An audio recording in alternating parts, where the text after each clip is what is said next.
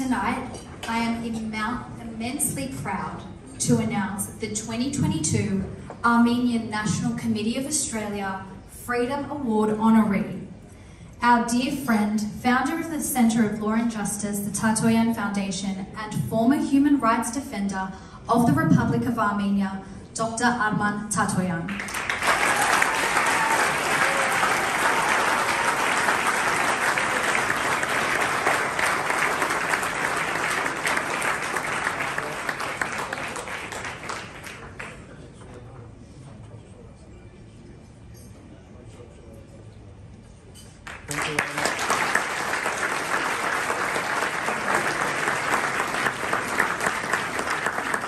Ladies and gentlemen, um, I now invite Dr. Arman Tatoyan to deliver tonight's keynote.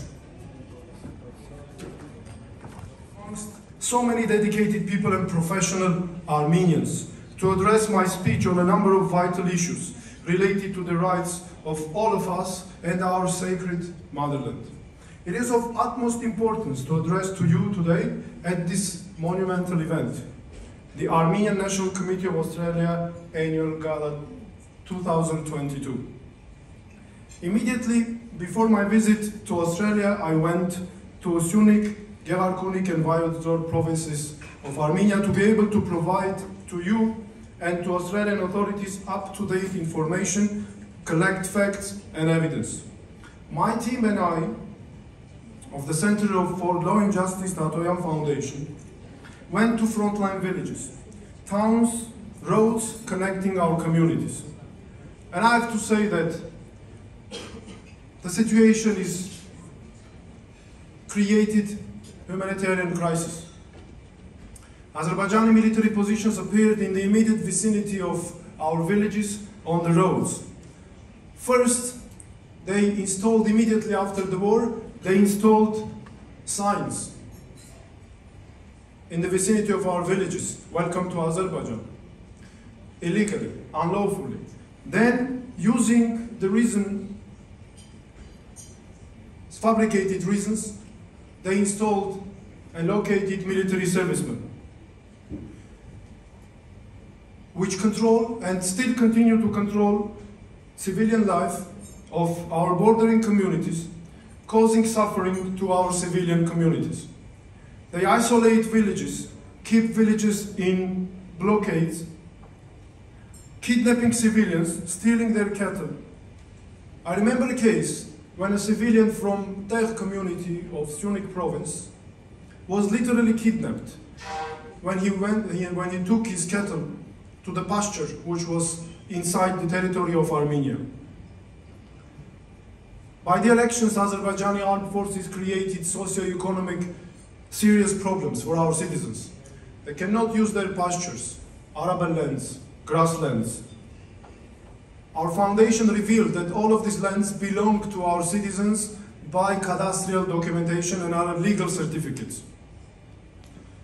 Presence of Azerbaijani military caused huge security issues, not only for civilians, adults, but also children, elderly.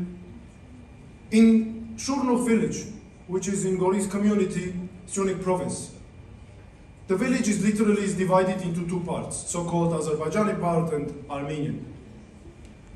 I saw there a, a house and two girls, eight and 10 years old maximum, playing in their garden, but with closed fences, because their parents have, natu- have fe- feelings of fear, which is natural.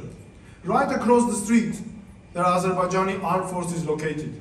Because of Azerbaijani armed forces, there are Russian border guards and Armenian border guards. During my meetings with international people, I was asking a question. Who could imagine rights of children secured when, when there are armed forces of three countries where children, girls, boys play, go to school.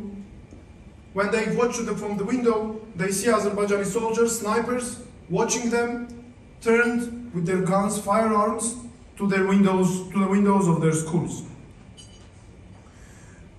Azerbaijani, immediately after the war, Azerbaijani incursions created huge problem for the army for, for the Republic of Armenia.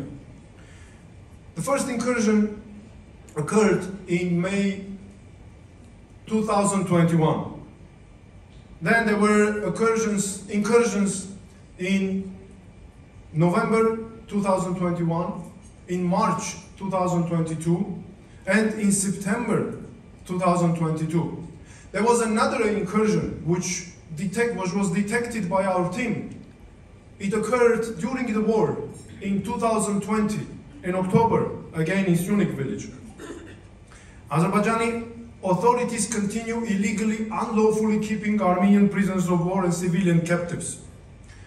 By so-called investigations, they continue to continue taking or attempting to take military and political benefits as an exchange as an exchange award to hand over to Armenia prisoners of war every time. Five people, ten persons. There is apparent impunity.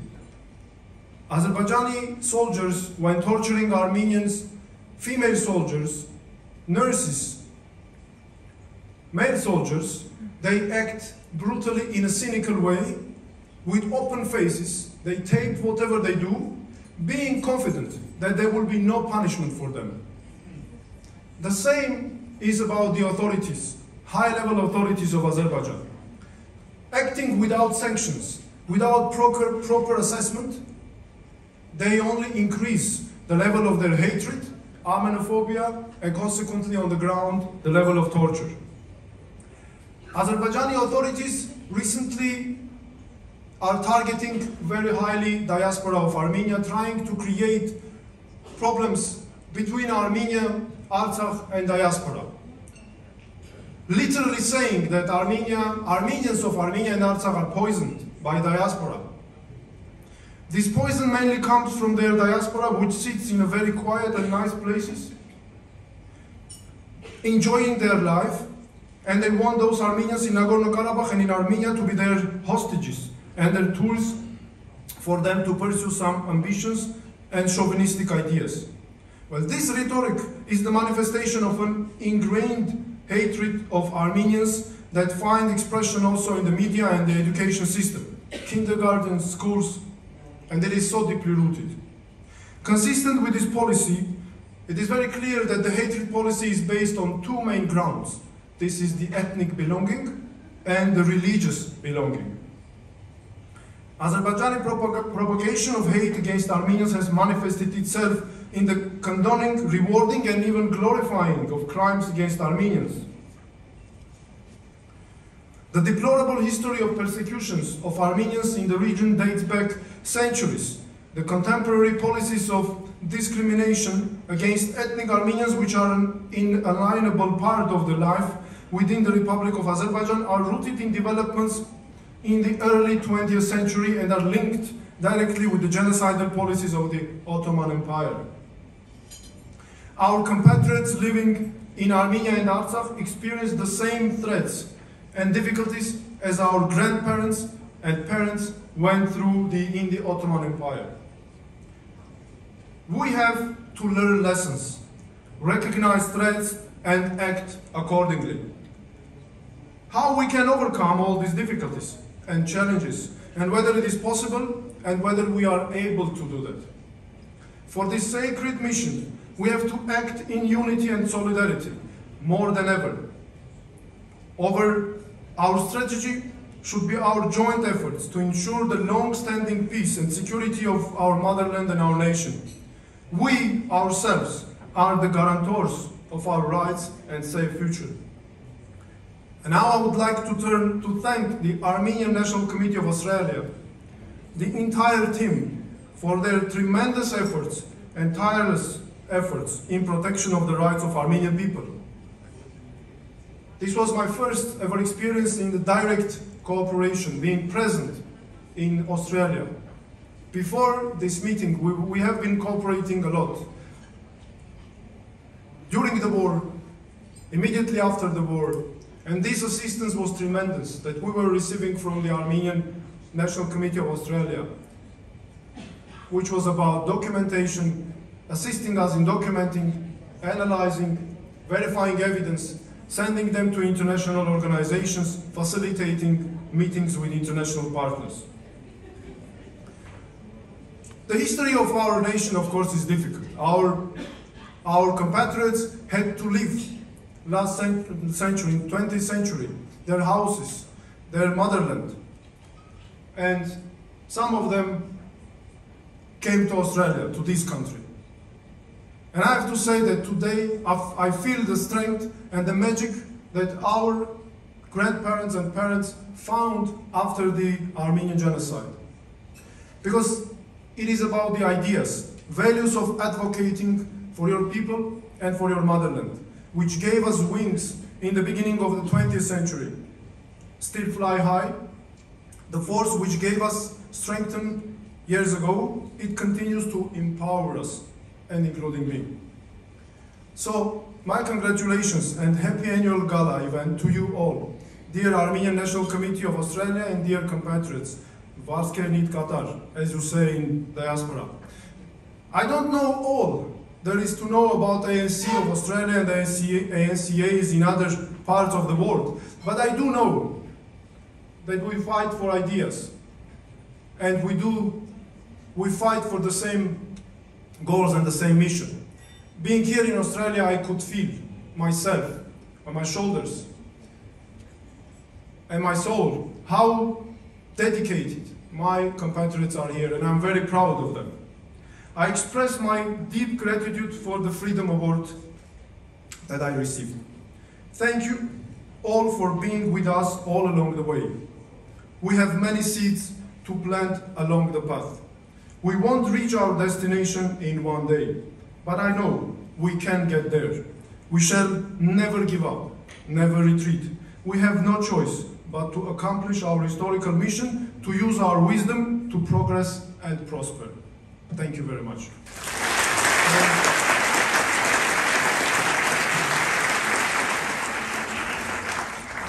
And as a, as a symbol of, of dedicated activities, of, the, of dedication of Armenian National Committee of Australia, the strong ties between Armenia and our community here, I want to present a gift or to hand over a very important thing. It is it is Fresco St. Nicholas the Wonder Worker receiving back episcopal insignia that is on the wall of Dadivank. And with this, I want to express my confidence that we will go back, as we say. And this church, which is true Armenian church and belongs to our history, is a part of our nature, still we will have the possibility to visit it. And I want as a symbol, as a, um, even a safeguard for this very important mission to leave it here with you, my dear compatriots, members of Armenian National Committee of Australia, Armenian community, so that to have the possibility to go together to Dadivank and I would ask you to bring it with you when we go there so that we can verify uh, that this is the exact gift from there.